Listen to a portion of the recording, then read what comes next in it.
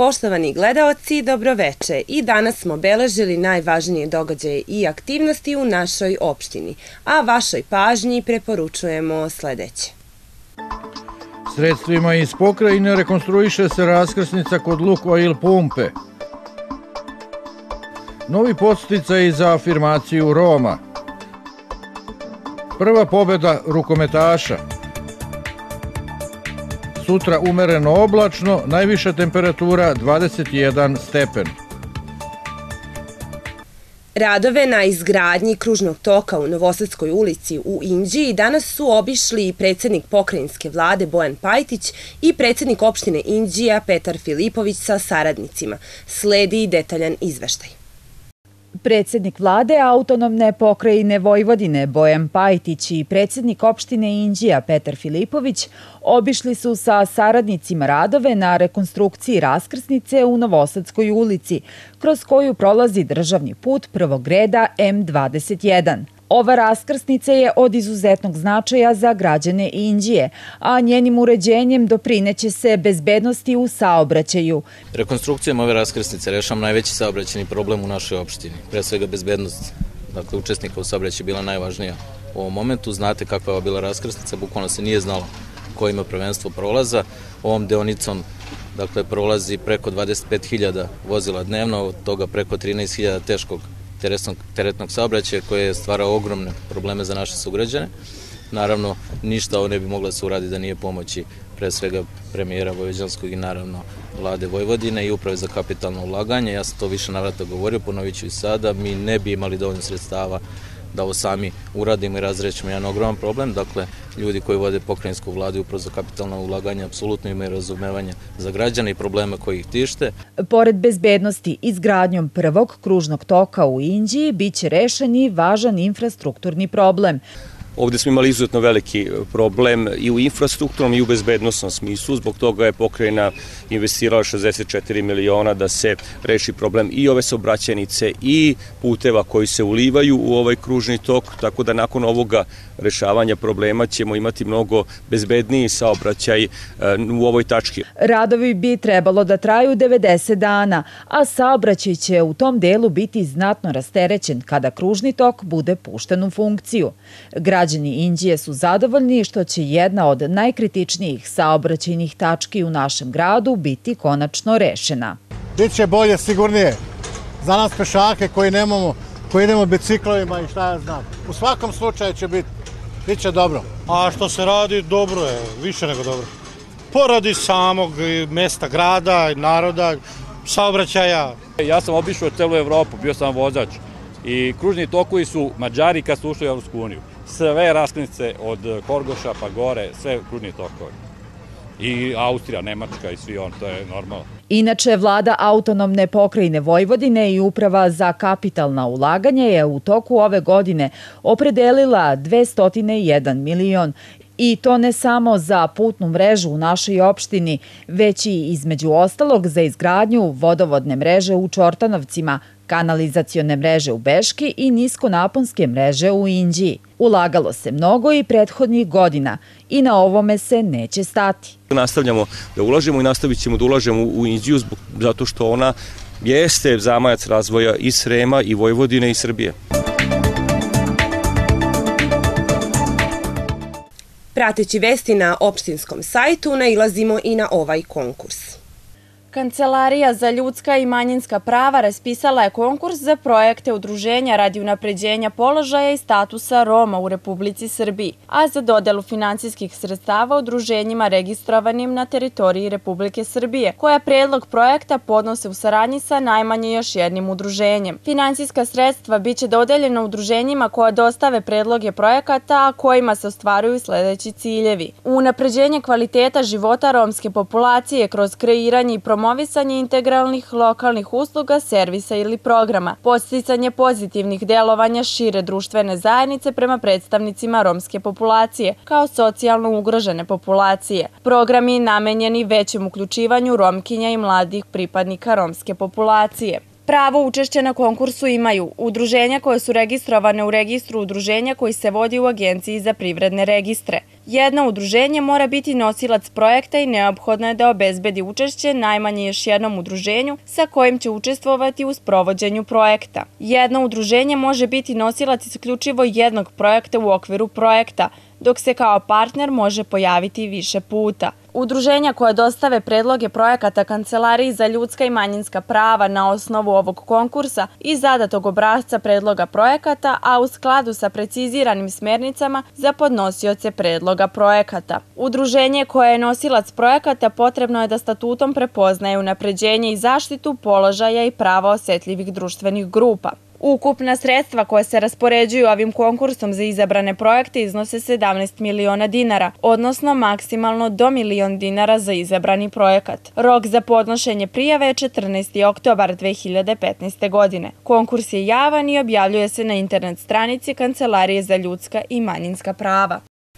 Ista tema, ali iz drugog ugla, sa pokušajem da saznamo kakvi su rezultati dosadašnjih akcija vezanih za unapređenje položaja Roma. Već deseta godina iz vladinih institucija stižu gromoglasna obećanja da položaj Roma u Srbiji mora da se poboljša i gde se stiglo u poboljšanju. Zvaničnici iz države, ali i predstavnici romske populacije slažu se da se desilo poboljšanje ili pomak sa mrtve tačke i to pre svega u sektoru obrazovanja. Angažovanje 172 pedagoških asistenata dalo je rezultat. Ovaj pomak videli su i predstavnice Evropske unije. Podsticajne mere za upis učenika u srednje, više i visoke škole stvorile su kritičnu masu da romska zajednica krene putem emancipacije. Pozitivan rezultat je zabeležen i u oblasti zdravstvene zaštite gde je bilo angažovano 75 zdravstvenih medijatora. Inače, strategija koja je izrađena 2002. godine, pored obrazovanja i zdravstvene zaštite, kao prioritetne akcione planove utvrdila je i zapošljavanje i stanovanje. Nacionalna služba za zapošljavanje svojim posticajnim merama insistirala je na diferenciranom pristupu svim marginalizovanim društvenim grupama, ali malo para, mnogo neizvesnosti u preduzetništvu rezultiralo je sa malo muzike, ne romske, već u efektnijem, odnosno većem zapošljavanju Roma. Što se tiče stanovanja u tom sektoru, još je situacija alarmantna – Od 750 evidentiranih romskih naselja, 160 su nehigijenski, 20% nema vode, 40% je bez kanalizacije, a u 10% naselja još nije stigla ni struja. Kao i svakoj raboti gde se vrti neka para i u finansiranju smanjenja diskriminacije i povećanja društvene afirmacije Roma desile su se neke pojave. Predstavnici Roma tvrde da su pojedine nevladine organizacije stvorile takozvanu džipsi industriju. Projekte za koje su dobili sredstva nisu doveli do krajnjih korisnika, odnosno nema vidljivih rezultata. Eto jednog tankog dokaza da su pojedini predstavnici i romske populacije i nevladinog sektora baš integrisani u kakvo takvo okruženje.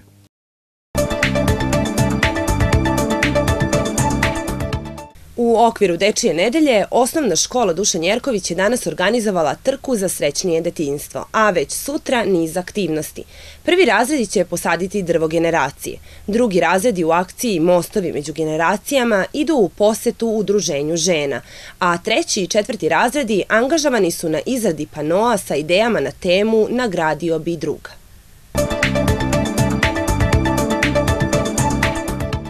Predstava Bračna igra Edvarda Olbija, koja je premijeru imala u Kulturnom centru Indija 11. septembra, biće ponovo prikazana u subotu 10. oktobra od 20 časova. Dan ranije naći će se i na repertuaru studentskog pozorišta Promena iz Novog Sada. Glavne uloge u predstavi igraju nekadašnji polaznici pozorišne radionice Kulturnog centra Teodora Marčeta i Aleksandar Milković, dok režiju potpisuje Dragan Nikolić.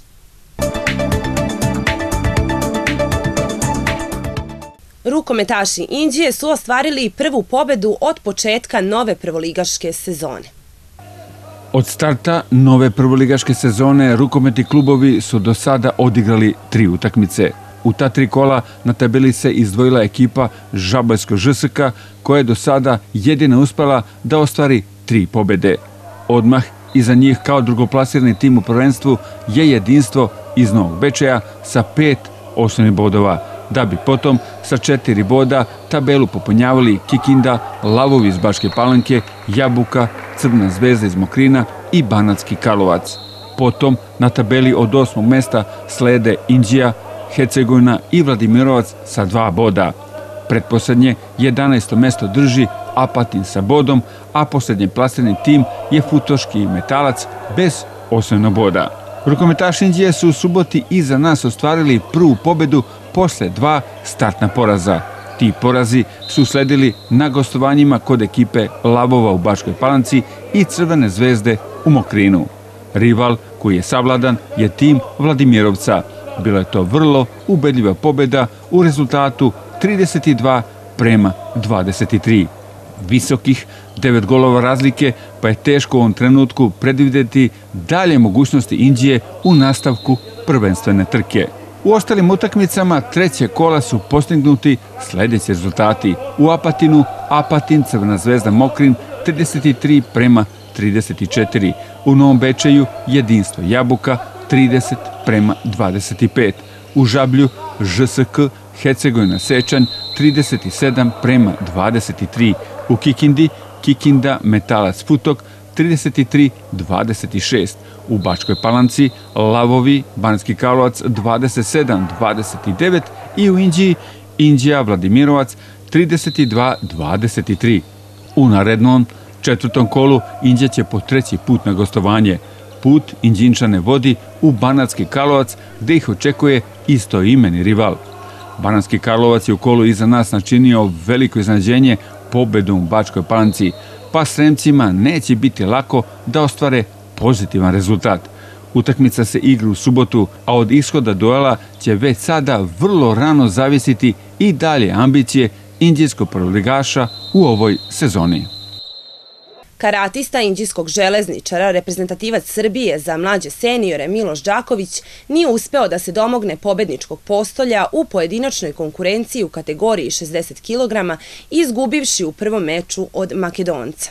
Međutim, odličnim ekipnim nastupom na Croatia Openu, reprezentativci Srbije uspeli su da osvoje zlatnu medalju i to pobedivši u prvom meču Francusku, u drugom Makedoniju i u finalu Bugarsku.